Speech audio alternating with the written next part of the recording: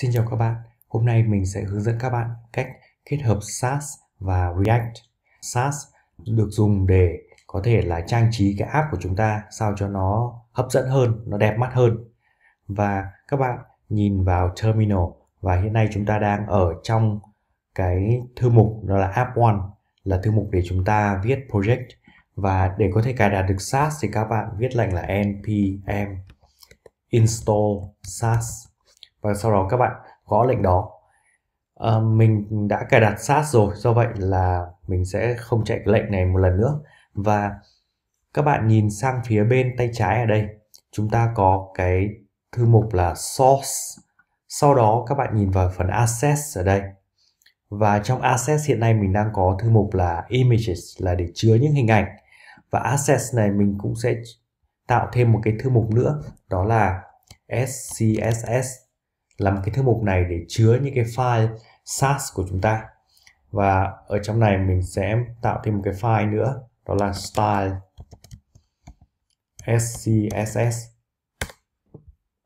và trong này thì chúng ta sẽ uh, viết khai báo các biến primary color tức là màu chủ đạo. Ví dụ mình đặt là purple là màu tím chẳng hạn. Và sau đó thì Ờ, các bạn sẽ có thể là sử dụng ví dụ như là H1 và chúng ta sẽ đặt là color. Và đây là primary color.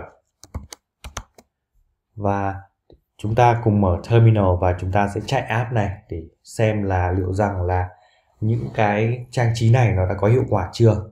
Npm start và các bạn nhìn vào localhost và hiện nay vẫn chưa thấy có gì cả. Tại vì là chúng ta vẫn chưa include chúng ta vẫn chưa kết hợp cái file này vào.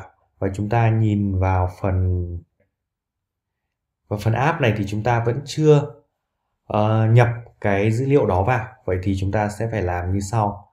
Các bạn nhìn ở đây có chữ import đây rồi. Thì chúng ta chỉ cần là import này ở thư mục.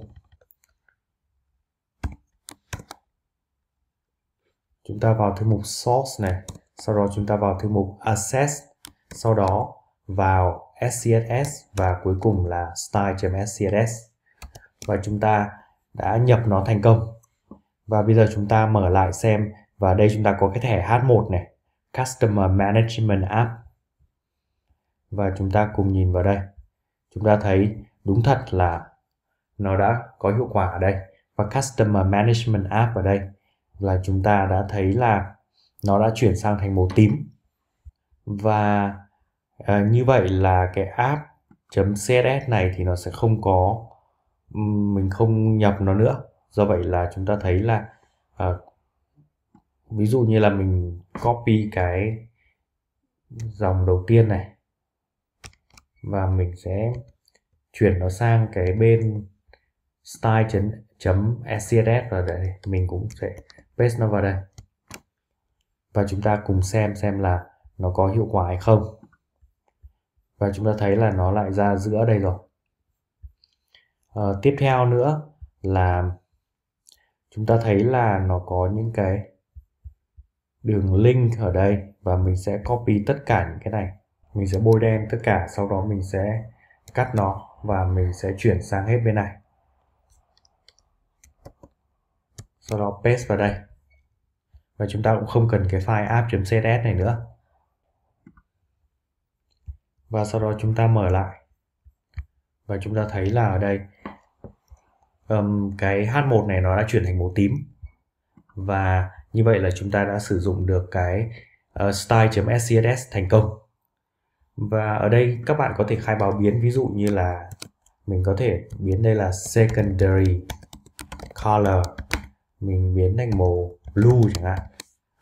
Và ở trong phần um, ờ, uh, H1 này thì mình không để là primary color nữa mà mình sẽ để thành là secondary color. Và chúng ta cùng xem. Nó đã chuyển thành màu xanh. Và uh, như vậy là chúng ta đã có thể là sử dụng được cái, cái SAS ở trong React. Bài học của chúng ta đến đây là kết thúc. Xin cảm ơn các bạn đã theo dõi.